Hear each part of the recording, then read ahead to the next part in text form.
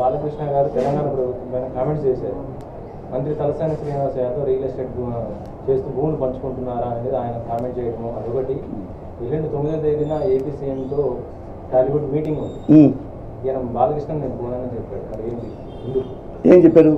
ఆయన అటెండ్ అవ్వట్లేదు. పోవట్లేదు. ఇక్కడ నన్ను అసలు పిలవనే పిలవలేదు అనేసి ఇక్కడ చెప్పాడు.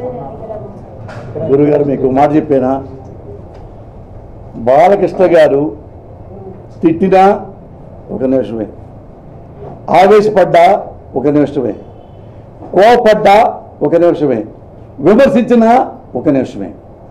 కాబట్టి బాలకృష్ణ గారి మాటలు మనం చాలా సీరియస్గా తీసుకొని బాధపడక్కర్లా.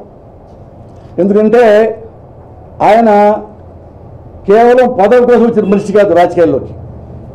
Honest fellow. లంచగుండి కాదు.